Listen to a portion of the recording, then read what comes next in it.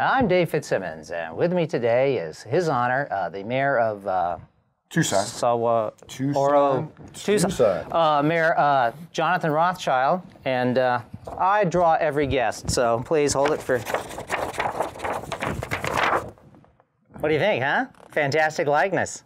I like it. You gave me a little extra hair, and that was kind of you, Fitz. Big mistake because you're my guest. I'm going to hammer you. But first, because you are the mayor and this is my premiere uh, web video, I would be so delighted if you would cut the ribbon. So we are cutting the ribbon uh, for the premiere of the Fitz Show. That is correct, sir. It'll be my my pleasure. Speed it up, will you? On the count of three. Count of three. Give me that. Yeah, one, two, three. The other way. Three, two, one. Fantastic! we are here.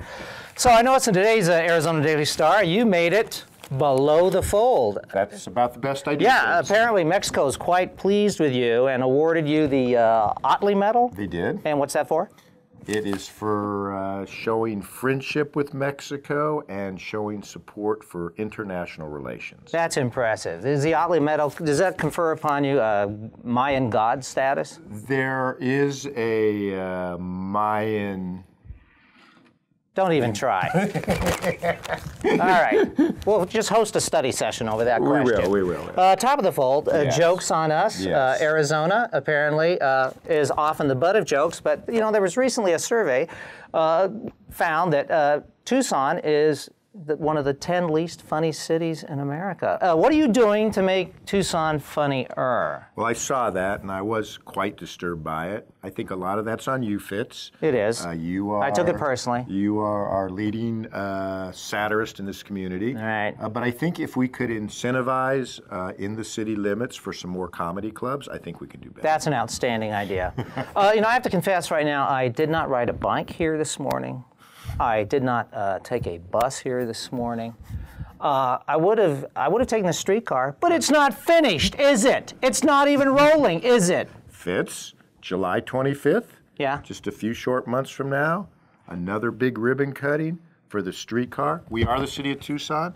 We chose the hottest day of the year to roll it out. Fantastic, and that is funny. well, we're, we're working to get up that list. All right, uh, let's talk about the budget. That's Uh, you're you're not you are you are not happy with the budget process. Uh, what's what's not to like? You know what's mainly not to like, Fitz? Hmm. We don't have enough money. Well, uh, you're a Rothschild. Aren't you related to one of the barons of Austria? Your dad's a bankruptcy lawyer, isn't he? He can help out. Though he represents people generally that don't have money. Well, well, we got a sales tax. We have a uh, we have a bed tax, right? How about a, a pillow tax? I'm open to all ideas, but what I found, Fitz, is that most people Mm-hmm. don't like to be taxed more. I, I don't know why that is. Uh, so, what we need to do is find ways to get more businesses into the city because that will create more revenue without raising taxes. You know, I'm kind of a fan. You sound like a capitalist. Um, you know, the more I've been on this job, uh, the more I understand that the more money everybody has in their pocket, Mm-hmm. the better off we all are. You're a pretty radical guy here. uh, let me quote you. Uh, you said, uh, as far as the budget process, because if the wolf is not at the door today, let me assure you, it has not left the neighborhood. Aren't wolves a problem for Arizona Game and Fish? Uh, maybe I need to contact Arizona Game and Fish Mm-hmm. and see what they can do about getting that wolf out of the neighborhood.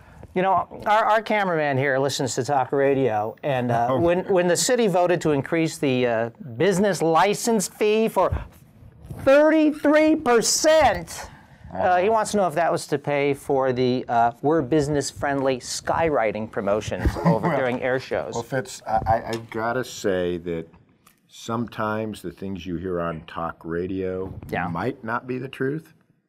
Just, just, a, just an idea. Well, that's why you're never on, huh? I guess not. All Well, right. well, well, just so just so you know, the proposal is to increase when you go for your first business license to take that fee from forty-five dollars to fifty dollars. Five dollars Fitz, Oh, that can destroy a business. especially if it's starting out. Because if, if you don't have that extra five dollars, Right. you may not be able to get into business. Oh man, you are cold. now, uh, the uh, the vote, the final vote for the budget is uh, June third, Ho- Hopefully May 22nd. but it May could- twenty but. It could be June 3rd. Uh, when you show up to uh, convene one of those meetings, do you Uh-huh. feel like uh, Russell Crowe and Gladiator entering the arena? Uh, we do often say before we head down the elevator, it's showtime. Jobs. Yeah. You are opposed to Rosemont Mine. Where do copper letters come from?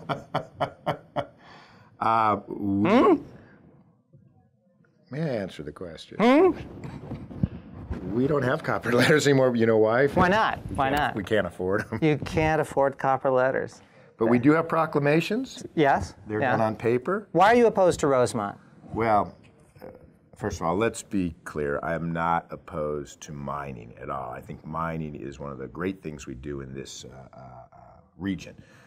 But with regard to Rosemont, there are a whole number of issues with regard to water safety, uh, air, and the like. And what I have said from the beginning is you have to comply with the law.